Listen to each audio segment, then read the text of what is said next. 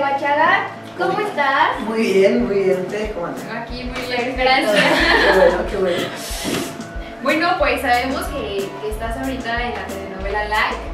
Cuéntanos, ¿por qué te decidiste venir a, a vivir a México? Eh, ok, para hacerlo resumido, yo desde los 12 años que quiero venir a vivir a México. Eh, para mí México es un país que, que- que me encanta, me fascina, me encanta la gente, la cultura, la comida, todo, todo en México realmente. Y mi hermana vive acá hace 8 años y yo, cono- de hecho ahí fue cuando conocí a Pedro a mis 12 años. Y yo dije a los 18 yo quiero estar en México. Y de hecho cumplí 18 acá con, con mi grupo de amigos de, de Like y todos mis seres queridos. Así que básicamente cuando cuando se dio la oportunidad de estar en Like, que, que Pedro me, me marcó por teléfono y una especie de casting por Skype y toqué la guitarra y todo eso. Cuando él me dijo si, si quería estar en Like y estar en México, no lo dudé ni un segundo. Dinos tres características de tu personalidad. Soy muy cursi. Eso es lo primero. Soy muy protector, eso es lo segundo. eh, sobre todo con mi hermana y con mi novia, ¿no? Lo que sea. Eh, con mi madre incluso también. y soy... intento de ser muy, muy alegre constantemente y hacer chistes y reír mucho. ¿Cuál es tu color favorito? Yo diría que el negro, pero si no cuenta como color, podemos decir que el azul marino me gusta mucho. No, se cuenta como ¿Sí negro, el mío también. Bien, ahí sí, está. bien, chócalas. está, Bien, ahí va. pum. ¿Cuál es tu pasatiempo favorito? Componer música. ¿Qué te motiva en la vida? pensar que el día de mañana puedo, puedo estar eh, feliz, con una familia formada, con mi hermana viviendo en el mismo país que yo y que si el día de mañana, no sé, los dos tenemos, tenemos hijos por separados y que, que los primos puedan como convivir y, y yo creo que eso es como un poco un- una de las cosas que siempre me ha gustado de pensar, ¿no? Como imaginar esta utopía en la que uno se casa y tiene hijos y trabaja de lo que quiere, eso, eso me mucho. Es verdaderamente lindo. Le dije soy cursi, empalagoso, pero se puede hacer. Ya nos dimos cuenta. ¿Qué se puede hacer? Bueno, a ver, dinos cuál es tu mayor miedo. La soledad. La- Que va ligado justo al anterior. Sí. La soledad, la soledad da mucho miedo. ¿Cuál ha sido tu peor oso que has pasado? No sé, no- o sea, les puedo decir la más reciente. Por ejemplo, hoy, hoy iba en el auto y hace muy poco que tengo mi auto. Iba con un amigo, entonces íbamos muy contentos, salíamos de Televisa y, y no sé cómo, pero le erré a la calle y le pisé el cordón. Y entonces como que se me levantó el auto y fue como no pasó nada. Y había gente como en la puerta de Televisa esperando y viendo y como, no sé si estaban filmando o no. Y fue como, mmm, qué, qué cool, le hicimos super fresh, no pasó nada, acá no pasó nada. No hubo ningún herido ni nada, o sea, solo me pegué al cordón y se me levantó el auto. Está todo bien. Mi auto inclusive. Bueno, ¿qué es lo que más te gusta de una persona? Me gusta mucho, mucho, mucho que se pueda contar con esa persona así, eh, realmente in- in- que- indiscutiblemente. Ese, ese amor incondicional y ese apoyo incondicional que te puede dar alguien es sumamente importante. ¿Cómo sería tu chica ideal así ya descrita a la perfección?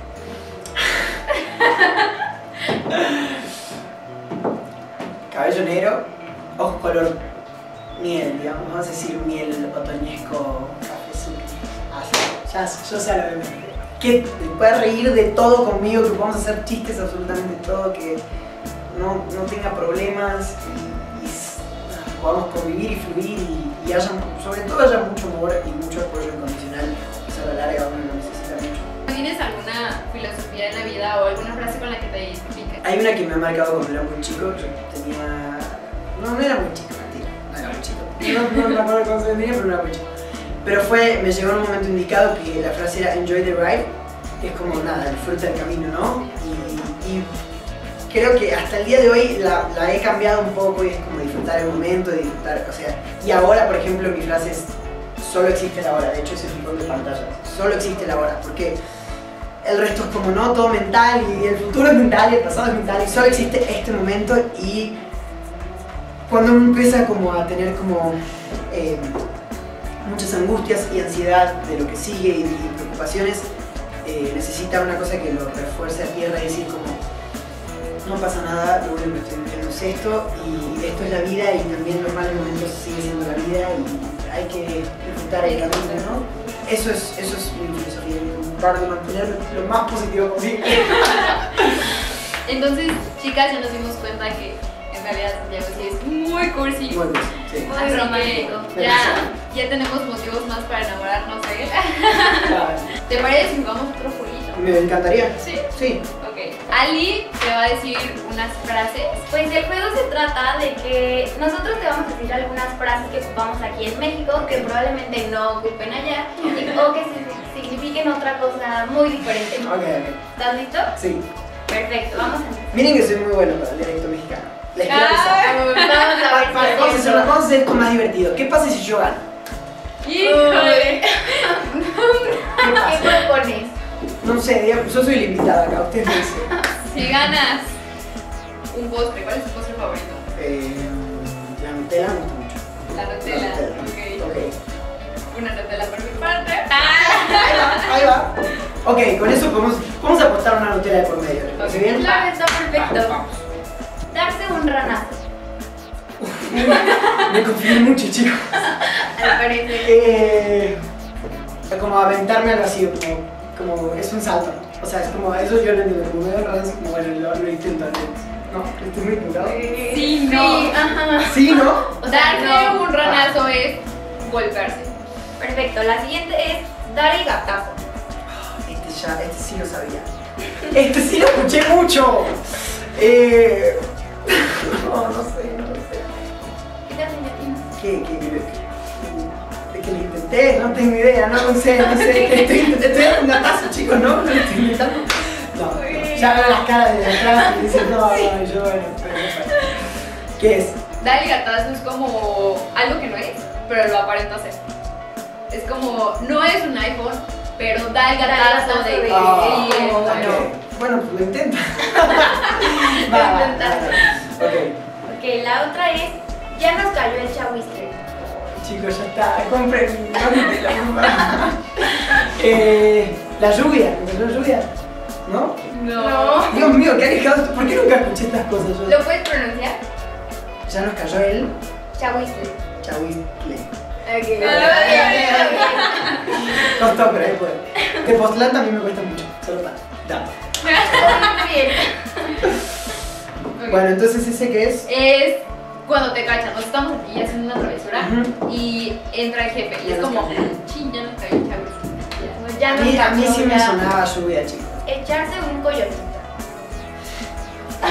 Súper típica de los mexicanos. No sé, alguien que me sonriera eh, Chicos, qué, qué, qué vergüenza, realmente, que no le pueda pegar una. No, de, Descansar como... Descansar. Así. Descansar. Siesta. Ah, bueno, sí, sí, sí. Bueno, gané chicos, esto ha sido un placer. Ah, ya, esta es la última. Esta está aún más fácil. Hacer pancho. Ah, es como ser puchero, es como de, ah, llorar, ¿no? Sí, perfecto. Es como ser puchero, está bien, está bien. Ok, perfecto. suena parecido. Sí. Bueno, doble mil, pero bien, dos. Eh, para Expo 15 practicamos un par más y lo volvemos a jugar. Va, me parece Ah, voy a intentar porque sí me dio un poquito de bien. Practícalas, estudialas. Va, Me daría tienes para tiempo. Pero bueno, muchas gracias por habernos acompañado. Te esperamos el día sábado 20 de octubre en la Expo 15 en el Palacio de los Deportes. Y bueno, Santiago, antes de que te despidas, recuérdanos tus redes sociales para que podamos seguirte la. Mis redes sociales son Santiago Achaga en Instagram y Santiago-A-F en Twitter, que pongo muchos tweets románticos y cursis, así que si quieren saber más de qué tan cursi soy, ya salí como Oscar.